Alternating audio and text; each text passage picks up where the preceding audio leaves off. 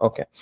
Abhi, there's a common question which I had for all from all my students जब मैं उनको हिजामा सिखाता हूँ कि कुछ प्रैक्टिशनर ऐसे फॉलो करते हैं कि हिजामा करने के बाद है ना वो पेशेंट को बोलते हैं कि आप तीन दिन तक नॉनवेज मत खाओ और don't eat any red meat और ये सो how do you see this what is your uh, what do you think the, the idea behind not eating non-veg uh, after doing an hijama session how do you see this a very good practice uh, to not eat non-vegetarian after you do uh, hijama because जब हम हिजामा करते हैं जैसे artificial injuries create होती है body में तो कई बार जैसे हमको लग जाता है तो हमारा टेम्परेचर बढ़ जाता है बुखार जैसा हो जाता है। वैसे ही जब हम आर्टिफिशियल इंजरीज कर रहे हैं बॉडी का हीलिंग प्रोसेस एक्टिवेटेड है।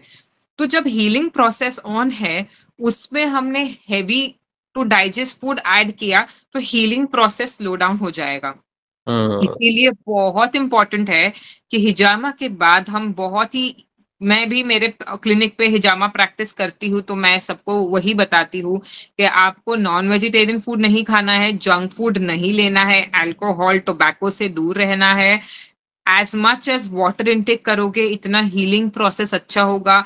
अच्छी नींद लोगे, बहुत ज़रूरी है, ताकि आपका, हमारा फोकस जब भी हिजामा कर रहे हैं वो है हील करना बॉडी को इन ऑल वेज तो अगर उसमें हम ऐसी कोई अड़चन डाल रहे हैं जिससे उसका हीलिंग प्रोसेस स्लो हो जाए तो वो बॉडी के लिए आ, सही नहीं रहता है। तो yes definitely no non vegetarian food अगर आपको रिज़ल्ट अच्छा चाहिए। And specially if you looking at weight loss weight loss अगर चाह रहे हो तो अगर आपने ये हीलिंग प्रोसेस को सीरियसली लिया आपने हैवी टू डाइजेस्ट फ़ूड नहीं खाया। ज़्यादा तेल, घी शुगर शुगर का इंटेक भी मैं लोगों को कहती हूँ no coffee no caffeine intake sugar भी कम लेना है। बाहर से बिल्कुल भी तीन से चार दिन तक नहीं खाना है। तो ये तीन से चार दिन का जो प्रोसेस है, उसमें बॉडी इतनी हल्की हो जाती है हीलिंग प्रोसेस अच्छे से होता है। उनको खुद को डिफरेंस लगता है बॉडी लाइट लगती है।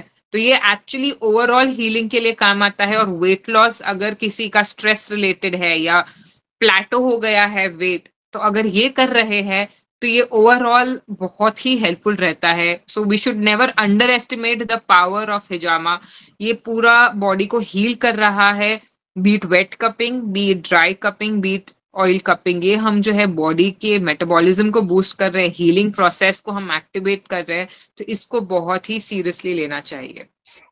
So, your conclusion here, what I can understand is that you're concluding that uh, whenever we do hijama to the patient, at least avoid three days. We, we don't, we should avoid, ask them to avoid non-veg so that the healing process is much better in them. Absolutely. Okay.